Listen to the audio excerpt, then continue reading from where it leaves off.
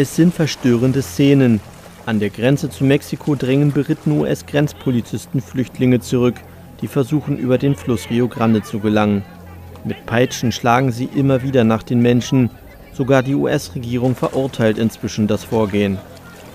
Regierungssprecherin Pesaki zeigte sich entsetzt.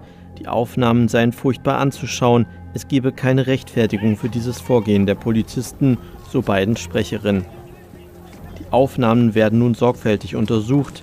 Gegebenenfalls werde es Konsequenzen geben. Der Fotograf, der diese Szenen dokumentierte, räumte ein, dass es sich dabei um eine Ausnahmesituation gehandelt habe. Aber es sind Bilder, die einmal mehr zeigen, wie groß die Flüchtlingskrise im Süden der USA ist. Derzeit versuchen tausende Menschen, die Grenze zwischen Mexiko und den USA zu überqueren.